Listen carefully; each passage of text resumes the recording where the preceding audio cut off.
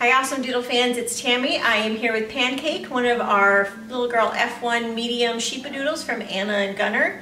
Pancake is just adorable. She has the perfect Sheepa Doodle markings with the little wide blaze, the double black masks, and then just kind of the fun markings on her body. She has a full white collar. She has the beautiful, beautiful uh, F1 Sheepadoodle coat. It's so soft and so fluffy. And it's a nice coat because it doesn't mat quite as easily as some of the coats do on some dogs because it's so nice and wavy. the curlier a coat is, the easier it mats. Um, but oh, she's so sweet. She loves her people. Um, I was doing laundry the other day and she was so funny.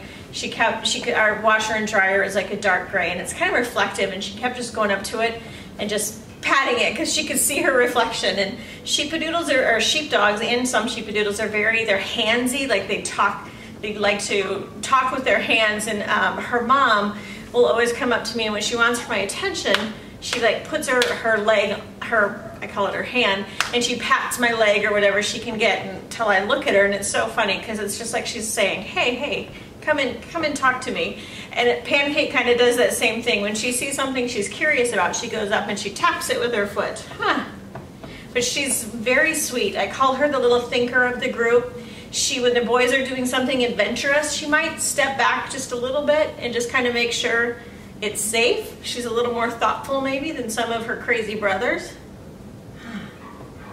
She's pretty easygoing. She definitely has her moments of wild play but she's she's definitely not hyper. She's not wild.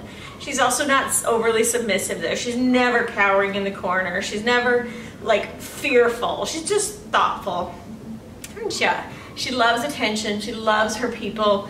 She loves to be with us, whatever we're doing. You know, in the evenings, if I'm cooking dinner, I'll have them all out in the kitchen with me or they can go back and forth if my husband's in the office. So they kind of just run back and forth. She kind of likes to just hang out wherever, wherever we are. She loves to cuddle on the couch if we're watching a little TV.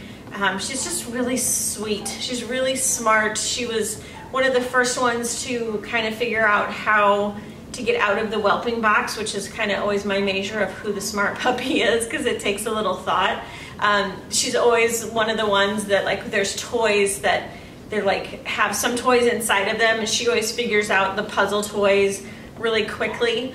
So she's smart, but she doesn't seem to use the smartness to get into trouble because she's smart, but she's thoughtful. So she's really gonna make somebody a wonderful family member. what are you doing? She's just beautiful and her personality is beautiful as well.